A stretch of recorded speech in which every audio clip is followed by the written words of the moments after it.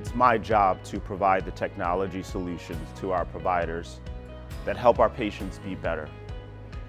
And when we looked at March 16th, that's the day Pennsylvania declared a global pandemic, the first thing my CEO said to me was, we can't close our doors to all those 50,000 patients, and we can't lay anyone off. Now, what he meant by that is we had to physically shut the doors to all of our locations, but we couldn't close the doors of our hearts and our minds to all of the patients that we had to see.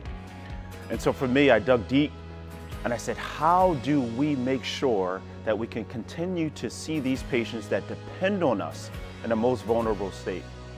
I made one phone call to NextGen. I said, I need everything you have to make sure we keep our doors physically open.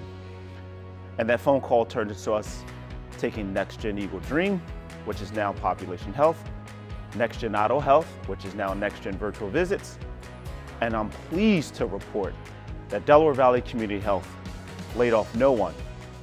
We kept our patients happy, safe, and secure, and all of this was powered through the technology provided by NextGen.